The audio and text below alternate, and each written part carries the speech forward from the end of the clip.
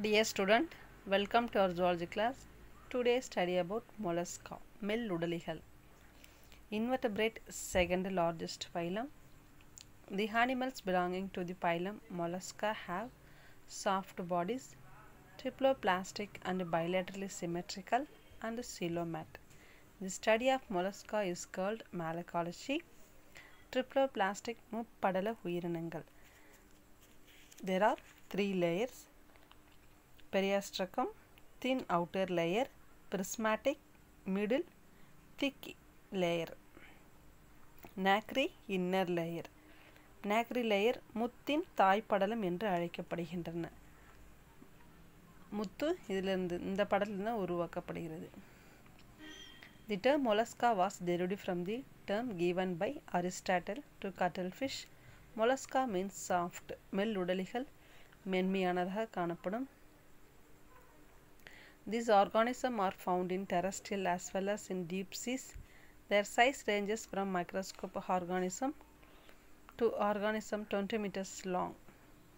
கடலின் ஆழமான பகுதிகளில் காணப்படுகின்றது They play a very important role in the lives of humans. They are a source of jewelry as well as food. Natural pearl are formed within this mollusca. Human ornamental ஜுவல்ஸ்க்கும் உணவுப் பொருளாகவும் பயன்படுகிறது. ஹார்மெண்டல் ஜுவல்ஸ்லாம் வந்து மெல்லுடலிகளிலிருந்து தயாரிக்கப்படுகிறது. இயற்கையான முத்துக்களும் மெல்லுடலிகளிலிருந்து பெறப்படுகிறது. The bivalve mollusca are used as bio indicators in the marine and fresh water environment but few of them such as snails and slugs are pests மெல்லுடலிகள் bio இண்டிகேட்டராகவும் கடல் வந்து நன்னீர் சூழ்நிலைகளுக்கு பயன்படுகின்றன. மொலஸ்கா கேரக்டர்ஸ் மெல்லுடலிகளின் பொதுவான பண்புகள். They are mostly found in marine and fresh water very few are terrestrial and found in moist soil நன்னீர் மட்டிகள் மெல் உடலிகள் வந்து மோஸ்ட்லி வந்து கடல் பகுதிகளும் நன்னீர்களிலும் காணப்படுகின்றன. நன்னீர் மட்டிகள் அந்த ரிவர்ஸ் ஃபாண்ட் லேக் அந்த ஓடைகளில் காணப்படுகின்றன.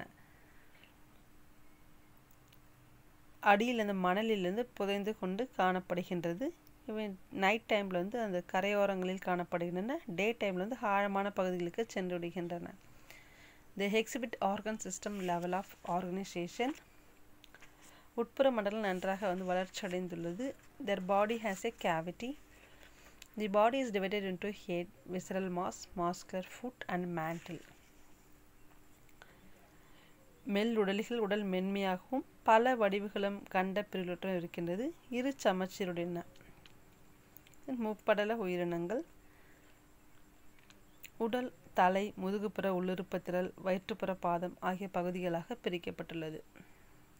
The head comprise of tentacles and compound eyes டென்டக்கலும் கூட்டுக்கண்களும் உள்ளன. The body is covered by calcareous shell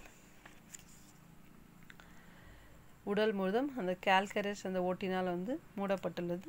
mantle பொதுவாக ஒன்று அல்லது இரண்டு அல்லது எட்டு துண்டுகள் கொண்ட சுண்ணாம்பு பொருளாலான ஓட்டினால் சுரக்கின்றது. They have a well developed digestive system. The radula is the rasping organ for feeding. உணவு மண்டலம் நன்கு வளர்ச்சியடைந்துள்ளது. வாய்க்குழியில் ரேடலா அல்லது முள்நாக்கு என்னும் சுரண்டு உறுப்பு வரிசையாக அமைந்துள்ள பற்கள் காணப்படுகின்றன. The muscular foot helps in locomotion இந்த மஸ்கர் ஃபுட் வந்து லொக்கமோஷன் இடப்பயிற்சி செய்வதற்கு உதவியாக உள்ளது. They respect through the general body surface gills or pulmonary sac சுவாசம் செல்களது சிப்பு செல்கள் மூலம் நடைபெறுகின்றன.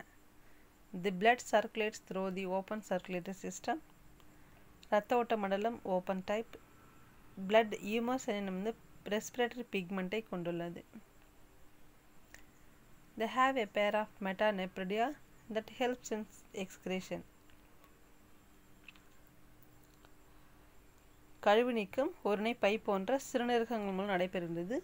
மெட்டானெப்படிங்கள் வந்து காணப்படும். அந்த உதவியாக உள்ளது.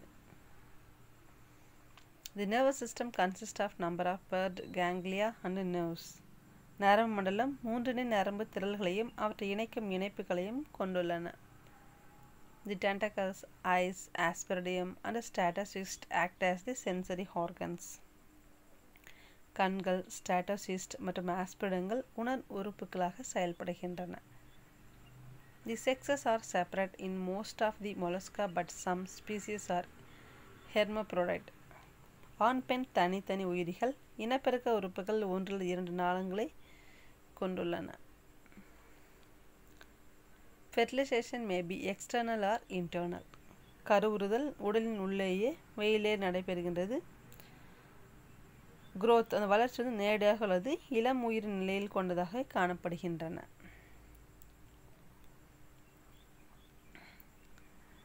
They are generally oviparous with indirect development. Oviparous அதை முட்டையிட்டு